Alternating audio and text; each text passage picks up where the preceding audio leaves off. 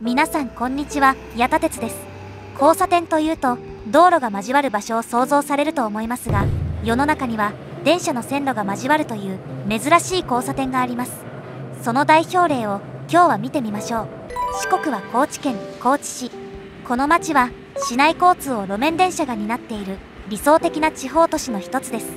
高知市内を走る土佐電気道線は5面伊野間を東西に貫く長い路線と JR 高知駅前から高知高山橋にかけてを南北に結ぶ短い路線2本の路線を抱えています。でこれら2本の路線はここ播磨屋交差点というところで綺麗に十字に交差しています。まずはこの交差点を自動車で右折してみます。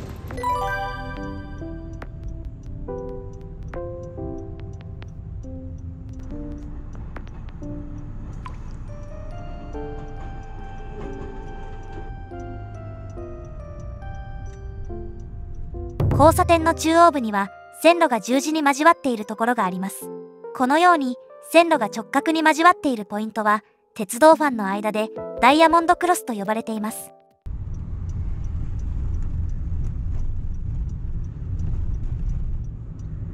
では次にこのダイヤモンドクロスを電車に乗って通過してみましょう。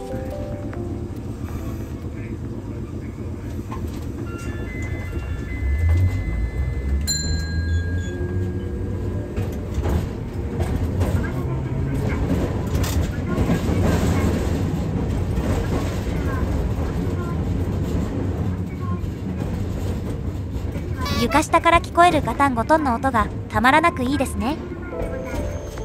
乗客が乗れる電車がダイヤモンドクロスを走るポイントは国内では片手で数えられるくらいしか存在しないためかなり貴重です。そしてそしてこの交差点運が良ければ3本の電車が同時に右左折するトリプルクロスが見られることも？今回は土佐電気道線の心臓播磨屋交差点の仕組みと信号制御について見ていきます。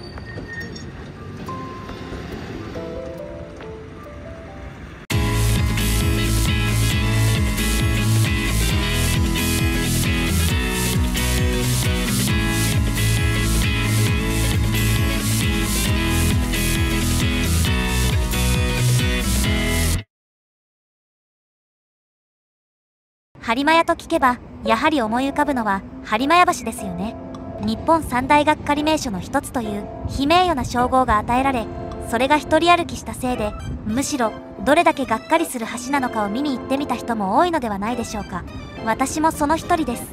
播磨屋橋はその昔ここに流れる堀川を播磨屋筆屋という2つの商店が互いの店を往来できるように自費で架けた橋が名前の由来です。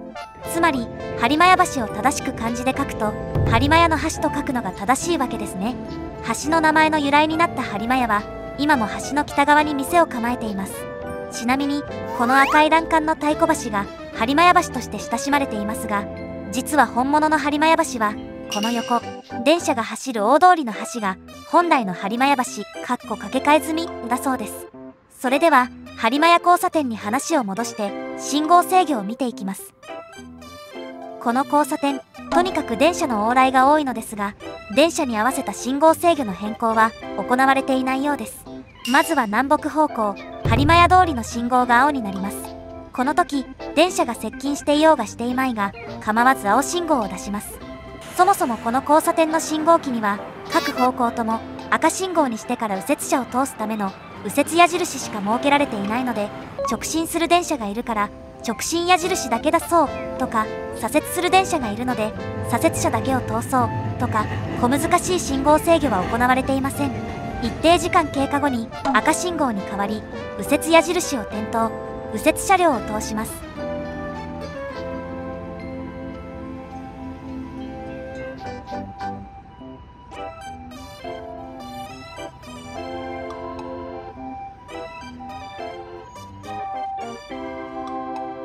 続いて東西方向の道路の信号が青になります。こちらも電車の接近状況とは関係なく普通に青信号を出します。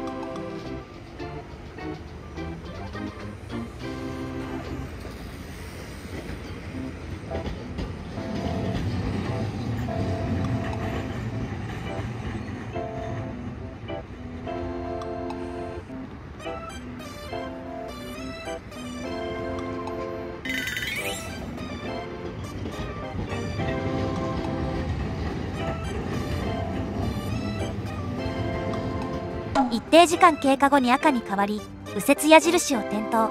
右折車を通します。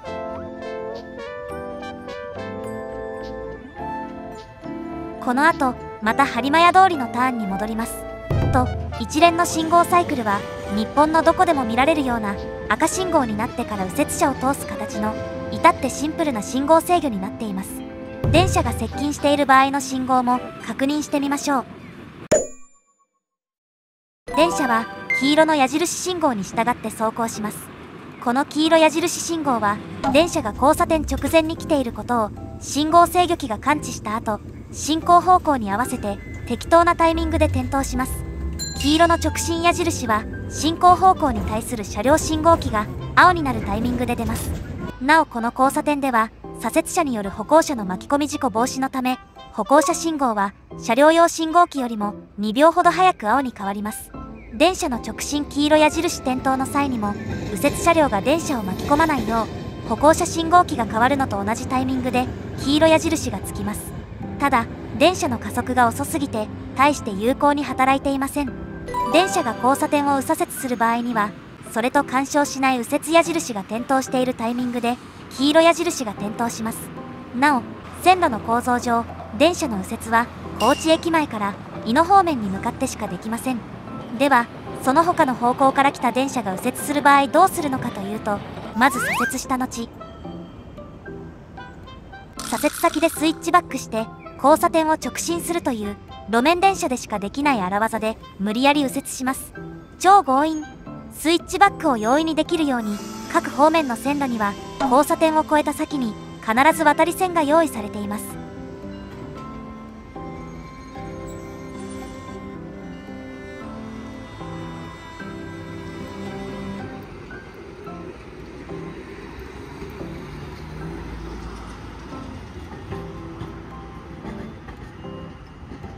高知駅前から来た道路に対する信号機には3方向の黄色矢印信号と同時にこちら大阪府でよく見るような LED 表示板が設けられています。詳細はこちらの動画をご視聴ください。こちらの LED 表示板は右折矢印と同時に黄色右折矢印が点灯する場合にのみ動作し右折電車注意と表示されます。要はインを攻めすぎると右折する電車と接触するから若干大回りしろという警告を出しているわけですね。この表示板は基本平日1日2回しか動作しないのでかなり貴重です。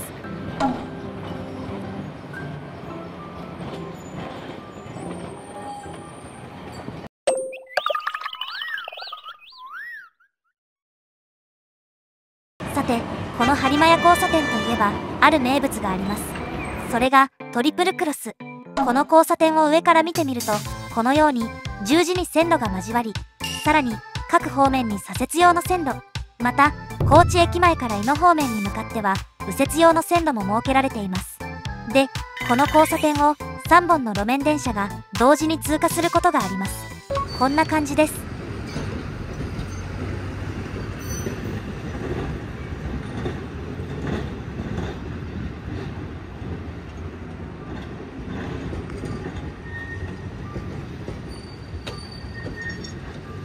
チャンスは平日朝の8時12分頃と8時53分頃の2回です。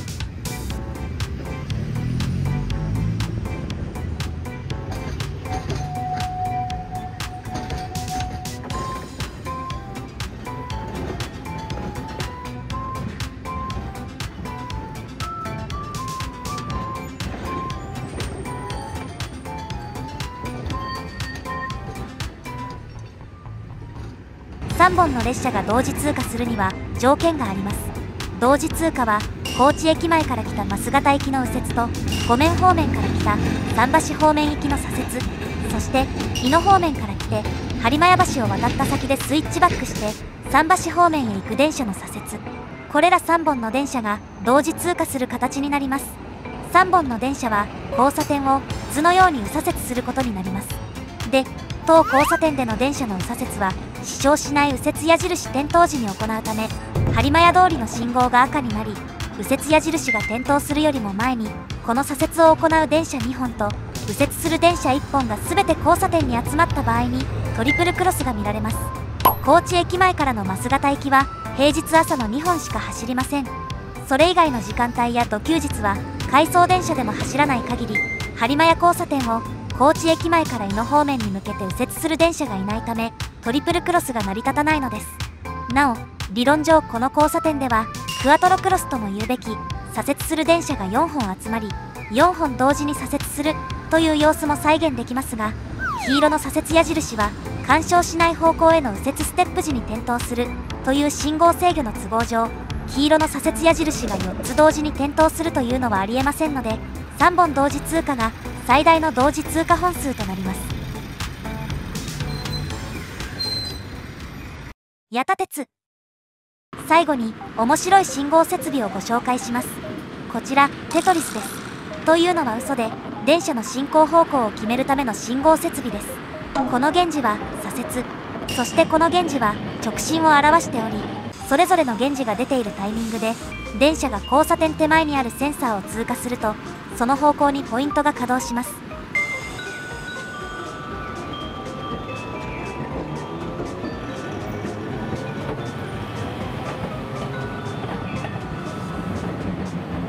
直進右左折3方向に曲がれる高知駅前からの線路に向いた信号機は当然3方向のテトリスになっています。ただこのテトリス信号機以前来た時には4方向全ての信号機が作動していましたが今回裁縫した際には4方向のうち桟橋から来る線路に向いたもの1機しか動いていませんでした。ではその他の3方向ではポイントの切り替えはどうやっているのかというとなんと手動です。この交差点は土佐電交通の本社前に位置しているため播磨屋交差点で右左折する電車の時間になると保線員さんが出てきて手動でポイントを切り替えます。このおかげでトリプルクロスの発生率が格段に上がっているみたいなので鉄道ファンには嬉しいお知らせかもしれません。